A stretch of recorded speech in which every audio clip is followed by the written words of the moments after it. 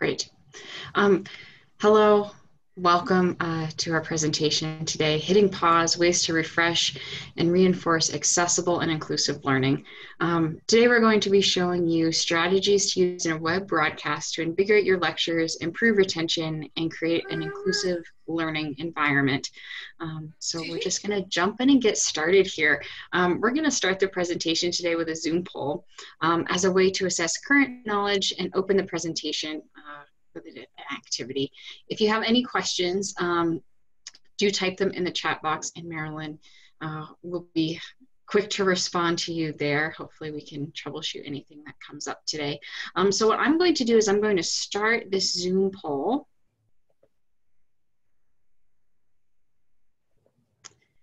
And so um, use your mouse to select the your best answer to the question, what is a pause? Um, options are pauses um, is a new video conferencing platform. Pauses are awkward periods of time during a lecture, or pauses inject stimulating experiences um, at critical moments in the learning process. Um, I'm going to keep the poll open uh, until we get roughly as many responses as participants. Um, and it looks like we have uh, 15 out of 15. Awesome. So I will um, end the polling. And now I'm going to share the results with you all. So that should be popping up on your screen. Okay, so uh, as all of you are correct, pauses inject stimulating experiences at critical moments in the learning process. Um, that's the uh, definition we're going to today. If anyone knows of any new video conferencing platforms called, called Pauses, do let us know. Um, but it looks like everyone uh, is up to speed here. So I'm going to stop sharing my results. Close out of this. Um, and just say welcome, welcome to our presentation. My name is Anastasia Thayer. I'm an assistant professor in the Applied Economics Department, and I am joined today uh, by Marilyn. Hi, I'm Marilyn Cuch. I'm a lecturer in secondary education, and I'm presenting from Roosevelt. Before we move on, we would like to acknowledge that we are guests on the ancestral lands of the Diné, Goshute, Paiute, Shoshone, and the Ute peoples past, present, and honor the land and the peoples who have stewarded it throughout the generations. Aho. How many times have we planned for our students to take a moment, maybe talk about our subject matter after lecturing on an amazing subject or topic. Or when was the last time we allowed for the students to pause, take a moment, just truly think about what they're learning? Or do we just move on to keep the schedule moving because we know they, they, they've got it, they've got it. Well, if we think about our course design and lectures, most of our courses consist of us doing the learning by spending most of our time lecturing. We miss out on pivotal pieces of good teaching, and that is by pausing and letting our students start the doing. In our presentation today, we want for you to outline the benefits of intentional pauses for students in a web broadcasting format experience how the three types of pauses are beneficial in student learning, and plan for intentional and inclusive pauses in teaching. This spring, Anna and I were part of an ETE learning circle where the book Hitting Pause by Gail Taylor Rice was our focus. We really encourage you to read the ebook available at USU libraries if you want more information on integrating pur purposeful pauses in your teaching and web broadcasting classes. And don't forget in your ETE uh, description where you came and you hit the link for this, we have that resource available. Anna? Great. So we're going to jump right in here. Um, what is a pause? Pauses are ways to inject stimulating experiences at critical moments in the learning process. They can take many forms, and be used throughout the lecture. Um, a few just general examples um, of pauses are pauses can allow students to reflect on past learning and describe where they have used the content content previously. Um, pauses can be used uh, to have students interact with fellow learners to fill gaps in their understanding. And then we can also ask students uh, to describe what they value during the lecture or what actions they plan to take and follow up with. Another reason why pauses are important is to build inclusiveness among our students. And if we provide more of those opportunities for students to enter the learning space through positive interactions and safe exchanges of ideas and thoughts, we can then provide a community where inclusiveness grows among and amidst our learners. Additionally, our students will persist in this cohesive learning environment, even if it may require them to persist for longer periods of time when solving problems. There are many benefits to adding pauses uh, to your teaching. As we mentioned, pauses can be used uh, to help students focus and increase retention. Um, but if we're attempting to create this inclusive learning community, pauses can be uh, used to allow all students an opportunity uh, to engage with the material, um, voice their opinion, and experience and really have ownership over the learning process. As an instructor, we also find that pauses provide an opportunity for us to receive feedback um, on our teaching in real time, make adjustments where necessary, and really maximize uh, the time that we have uh, with our students. So, so we're going to maximize our time right now, and we're going to hit our first pause, which is a starting pause, and experience starting pause number 10 from hitting pause. Quiz time, start audience response system. So again, we're going to go back to the poll and start a Zoom poll. This quiz is related to the topic on pauses. So please respond to the following questions using the response area found in the Zoom poll. If you have any questions, remember that text chat box is right below you and you can add anything there. Choose which statements explain why pauses are useful. Hey, we've got some going now, Anna. Uh, no, the first one starting pauses help you provide quizzes for your classes. Starting pauses provide time for you to catch your breath when you lecture. Starting pauses help you assess student knowledge of content prior to lecturing, or the final one, starting pauses help with midterms. We'll continue to see, get to that 100% voting. Good good participation today. Right, couple more.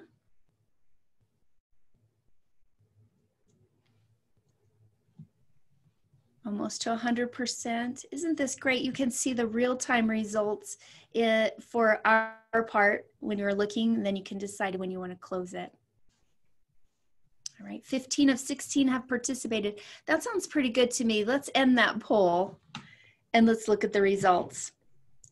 If I could take you all out and, and take get some um, some ta taffy, saltwater taffy, I would because you all did great on this. C is correct. Starting pauses help you assess student knowledge of content prior to learning. So let's let's just say that that's pretty darn good response. So excellent. Starting pauses, they do. They activate prior knowledge or experiences relating to a topic. A starting pause can focus or refocus information from previous teaching cycles or even in your laboratories. They can generate curiosity about the topic you're teaching or going to discuss during your web broadcasting. Or you can use starting pauses to review concepts from previous teaching or discussions. You can also go back. This is the data piece that I love. You can use starting pauses that you did at the beginning and then use it again as a closing pause to see the assessment of your teaching and student learning. We have a question in the chat box, Anna. It says, I hope you will show us how to create these polls in advance. Lisa, thank you for, for asking. Lisa, can you give me a thumbs up or wave your hand? Yeah, Great, good for you. Uh, we're not going to show you how to use a poll, but we do have many resources on how to in the resource section under where you clicked in to get to the link to our presentation. And that's where you can also um, get more information on how to create a poll using Zoom. Good question. I didn't even have to pay her to do that, Anna. That was pretty good. that was an easy one. Yeah. Thank goodness. Okay. Awesome. So I think uh, anything else on starting pauses, Marilyn, or was that we're, good we're for you? Great. That is great. Okay. Awesome. Well, then we'll jump right in uh, to a mid pause. And this mid pause is going to be modeled after uh, mid pause number 25 in the Hitting Pause book, Think, Pair, Share. And so, what we've done for to move this to a broadcast is we are going to use the breakout rooms in Zoom to provide an opportunity for you all to discuss a prompt and reflect on the presentation uh, to date. And so what I'm going to do is initiate the breakout rooms, randomly assign everyone into uh, four rooms. You'll have five minutes to discuss the prompt. How do you think you'd be able to integrate a starting pause into your class? At the end of five minutes, we'll come back together um, and one person from each group will report back on their discussion um, and hopefully be able to provide the group an idea um, of how you'd integrate a starting pause into your class. Before you start your discussion. I want to interject really quickly. Please do. Also, it's in your chat box too, if you want to be able to take a look at that, because I know sometimes people forget. It's also put your question in your chat box. Mm-hmm. And yep. Shelly, I see your book. You got your book with you. Very good. Yeah, you get some saltwater taffy. Very, very good. um, so make sure you have a leader um, in your group who can be the timekeeper and then also report back so we're not scrambling at the end there. Um, the prompt, as Marilyn mentioned, will be in the chat box and then it's also going to pop up um, in your breakout session. I'll be coming into each breakout group um, just to make sure there are no questions, uh, see how it's going. Um, you're not going to have to do anything to get into uh, the breakout room and then we'll all come back uh, into the main session at the end of the five minutes there. So here we go. I'm going to start the breakout rooms for us now.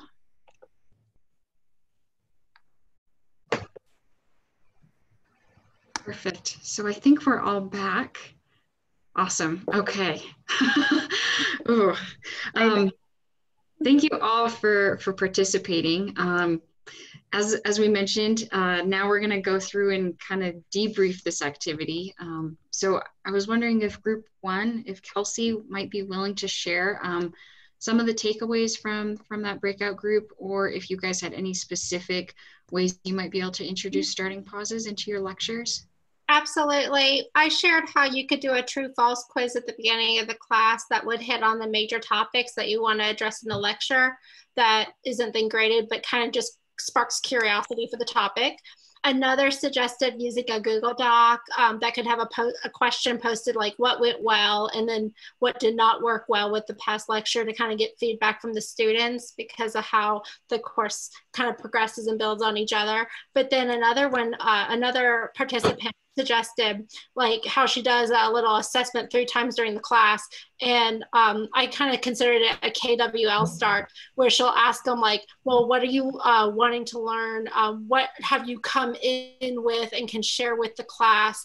And then what have you actually learned? And then um, can use that to make sure she's hitting on the expectations of the students and make any adjustments during the semester on topics that the students are really intrigued about that's that's great.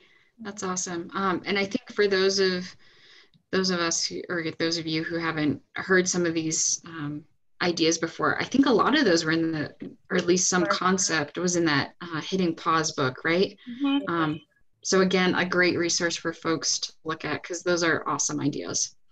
Um, Polly from group two, would you be willing to share some of the conversation? Absolutely. Yeah, so um, we talked about uh, using a starting pause to to start class by doing an assessment, um, kind of measuring and showing learning and improvement over time, or creating some sort of a design and critiquing it to kind of warm up your brain, depending on what the topic was um, or even taking you know 10 minute period to just start drawing. This was from amanda who teaches an art class and i was thinking i should find a way to incorporate that into my uh, analytics class.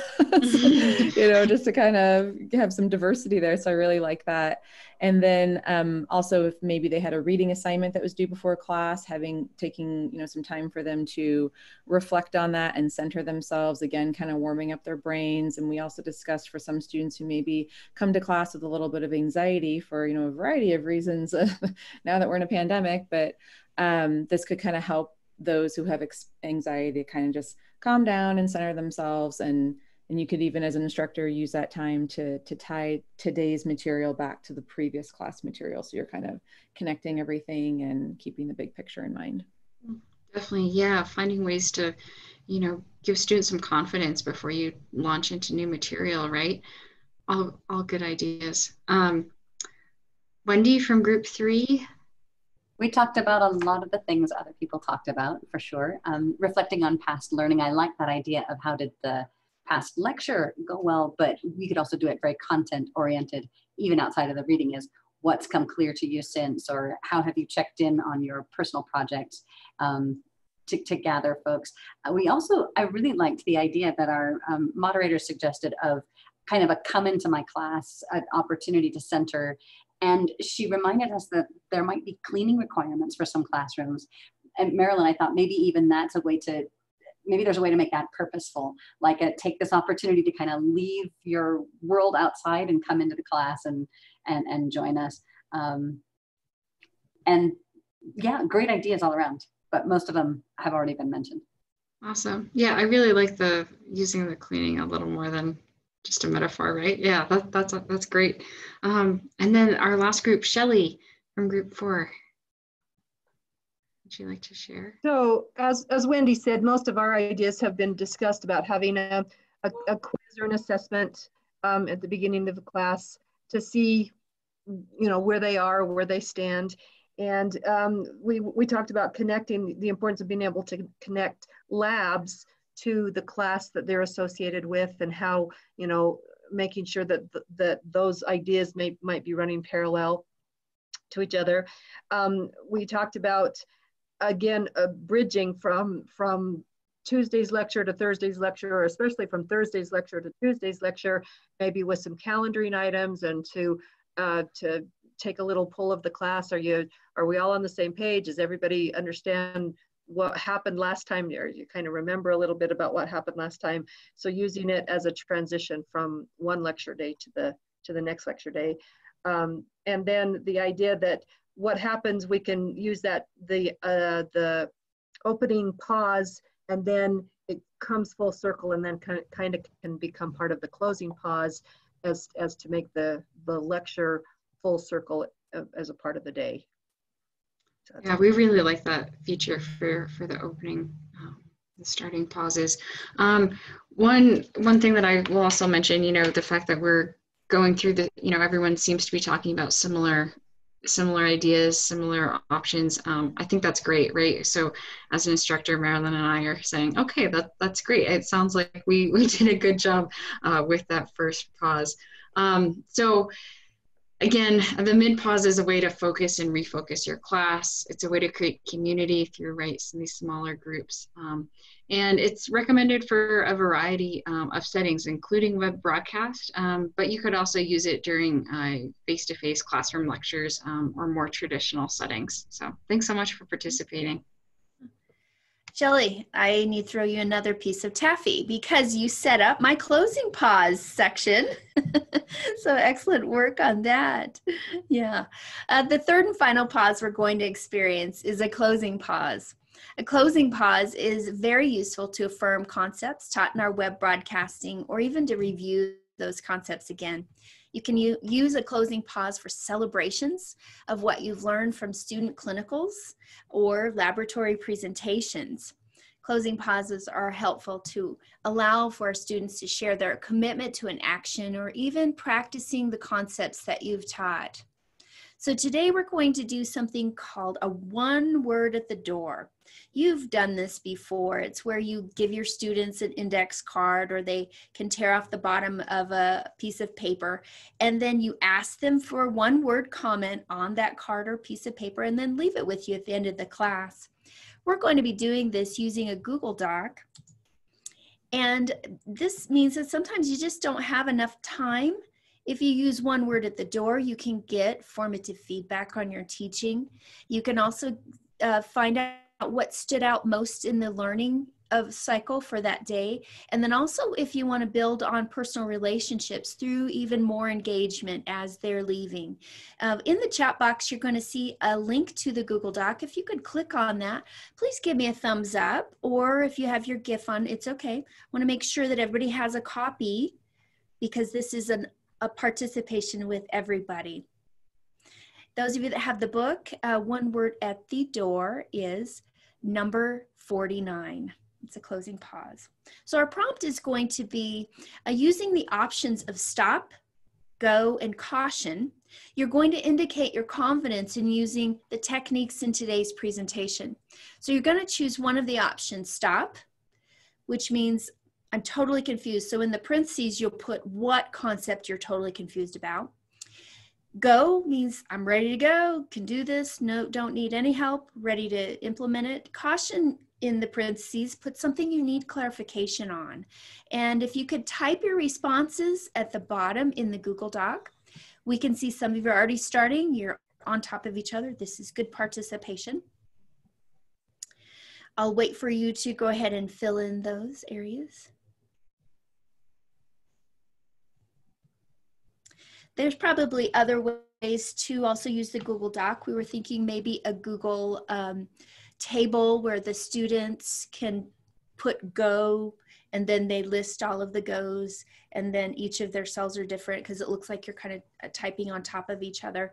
Uh, but this is one way where you can see in real time what they know and what they're wanting to do. Uh, remember put in your parentheses what you're ready to do for go. Stop you need more clarification on it could be even using web um, breakout rooms with zoom Anastasia's she she she's got this down. Notice we've done four different things using using it um, using web broadcasting interactions within 30 minutes.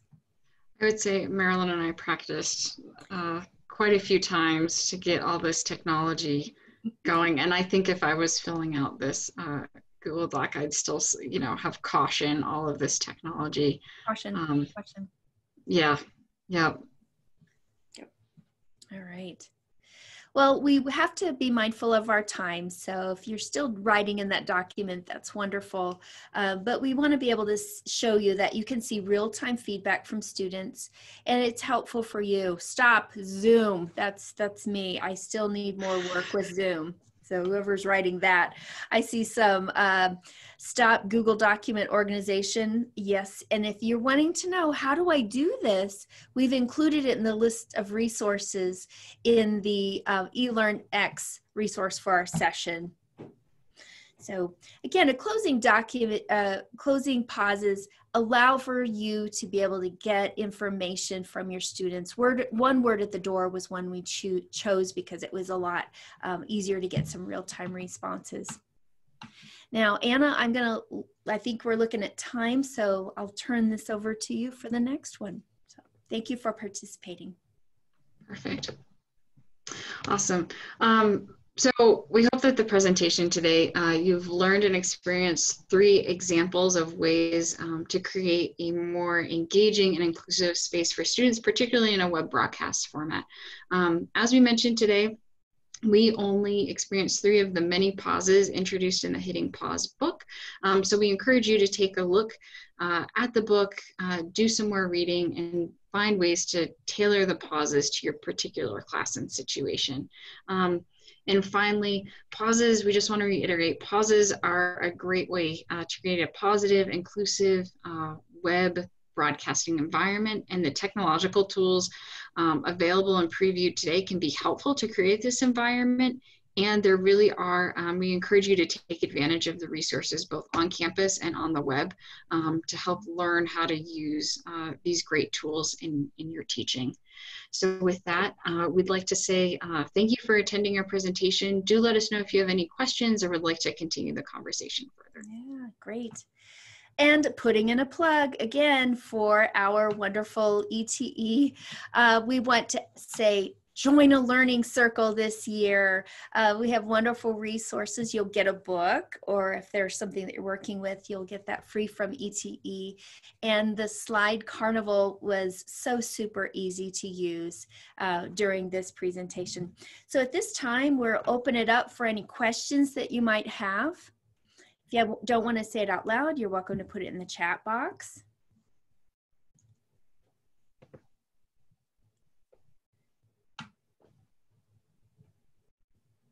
Any comments also? Any additional comments? I have a question. Are we supposed to go back to the vision board and write something about attending a session? Uh, who may I ask who that was? The sunshine. Oh, hi, Sunshine. Oh, you're you're down with the arches right now. yes, I love that background. Uh, I think they want you to continue the discussion and give feedback in there. And that's also a wonderful pause. That would be a closing pause, too, uh, that you could continue to use. So, good questions. The ebook is available on that link, too, where the discussion that Sunshine was bringing up for our session definitely read that if you're looking for ways. They also outline not just face to face, but they have online examples of the starting, mid, and the closing pauses. Okay, Rachel asked, uh, do we just go to the next session? You certainly do. That's right. You can go to the next one. Yeah. Uh, Sunshine, if you want the, or anyone wants the native land acknowledgement, I wrote that and I can give you the HTML code to put it in your Canvas class if you'd like. Just email me.